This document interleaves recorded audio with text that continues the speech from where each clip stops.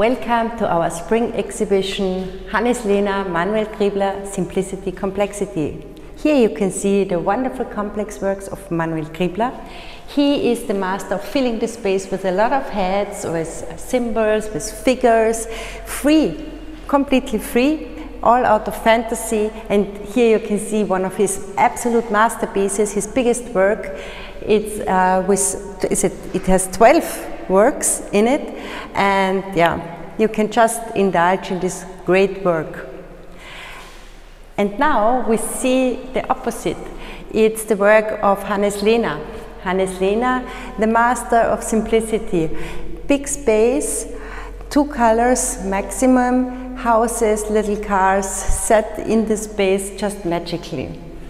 And as he is a car lover, we have here wonderful objects, the cars.